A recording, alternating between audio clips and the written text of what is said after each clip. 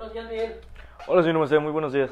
Pues ya, ya que inició el proceso electoral el viernes, inauguró formalmente el inicio de esta campaña electoral, Miguel.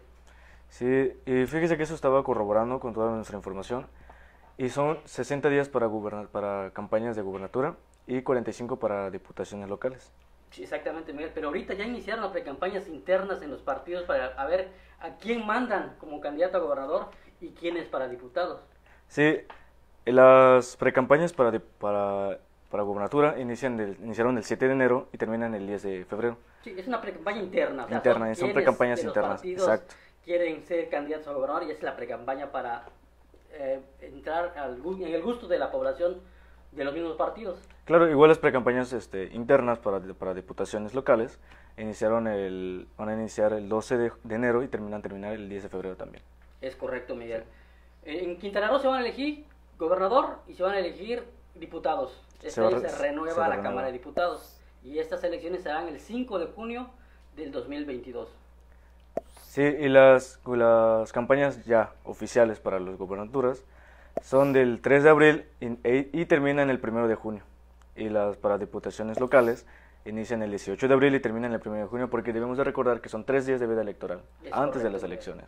También, Miguel, del 18 al 22 de febrero se van a inscribir todas aquellas, aquellas personas que sean electas para candidatos ya. Entonces, del 18 al 22 de febrero se tienen que registrar ante el Instituto Electoral de Quintana Roo. ¿Qué te parece? No, muy interesante. Y eh, tengo entendido que también se van a hacer los debates por parte del IECRO, así Es como en las elecciones. Es correcto. Son Sí. dos fechas diferentes. Primero será para gobernador y luego será para diputados. Que por cierto, serán más de 100 diputados que estarán contendiendo, ¿eh? Sí, sí, sí, sí, sí, está. Hoy esta vez sí viene muy fuerte la- la- las elecciones de este 2022. Sí, va a ser muy disputado. Recordemos que se llama las eh, las intermedias son las que recién pasamos en el 2021, donde se renueva solamente se renovaron las alcaldías y se renovaron las diputaciones federales. En esta ocasión se renueva el poder ejecutivo y el poder legislativo.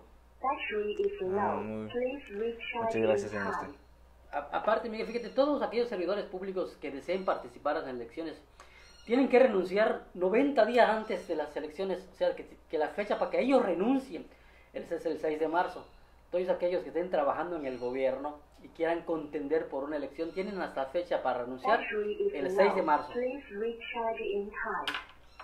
Muy, muy interesante, señor. Y, y de otra fecha que estaba yo checando, Miguel, que del 19 al 13 de marzo es el periodo para solicitar el registro de candidatos para diputa- diputaciones.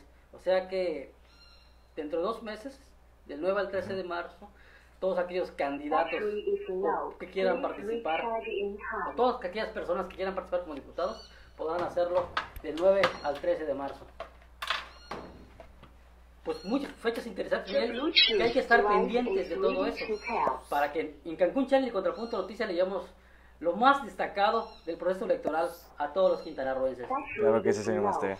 Amigos de Cancún Channel y Contrapunto Noticias, síganos y esté pendiente de todo lo que acontece en la política de Quintana Roo. Soy Sergio Masté, Y Miguel Luna.